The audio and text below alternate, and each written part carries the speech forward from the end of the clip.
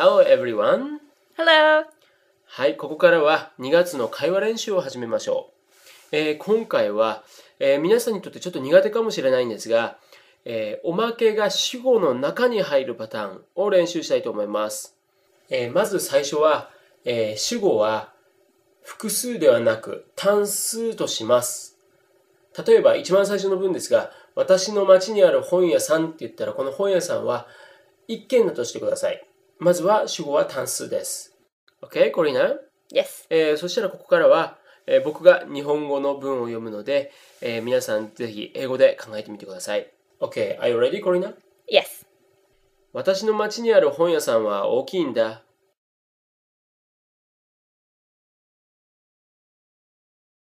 The bookstore in my town is big. 黒板に書いてある質問は難しいよ。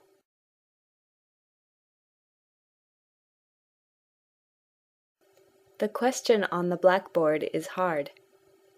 私たちの前を走ってるオープンカーは速いね。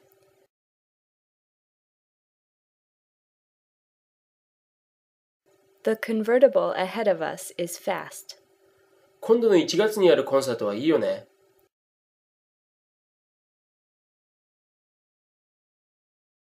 The concert in January will be good. 2月にある祝日はバレンタインデーなの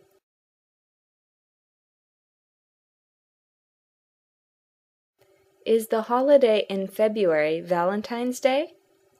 この洋服についての雑誌は週刊雑誌なんだ。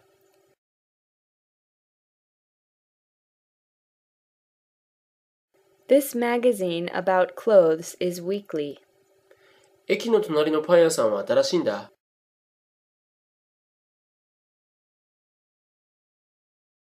The bakery next to the station is new.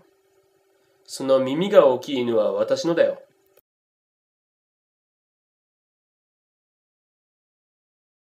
The dog with big ears is mine.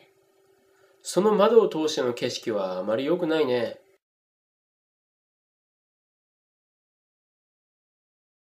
The view through the window isn't very good.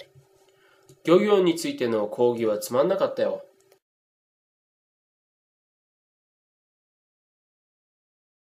The lecture about fishery was boring.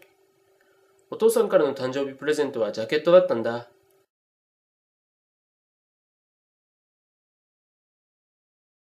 The birthday present from my father was a jacket. 私たちの家の後ろにあるビルはカフェなの。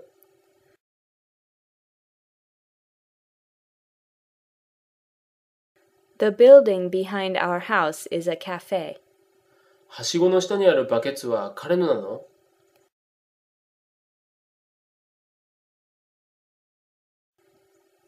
Is the bucket under the ladder his? 人形を持ってる女の子は私の妹の友達なんだ。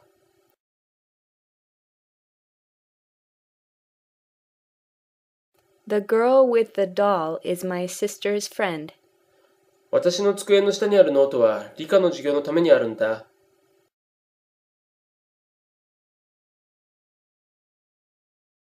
The notebook under my desk is for science class.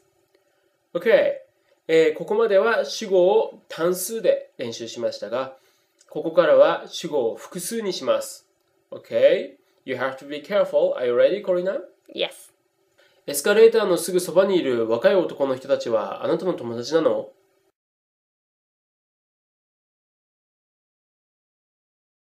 Are the young men by the escalator your friends? 制服を着ている生徒たちはあなたのクラスメートなの?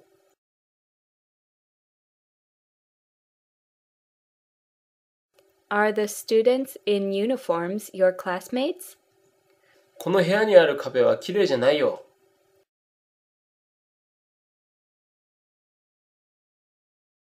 The walls in this room aren't clean.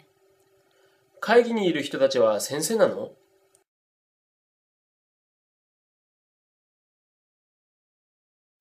Are the people in the meeting teachers? 海にあるそれらの船はオーストラリアのものなんだ。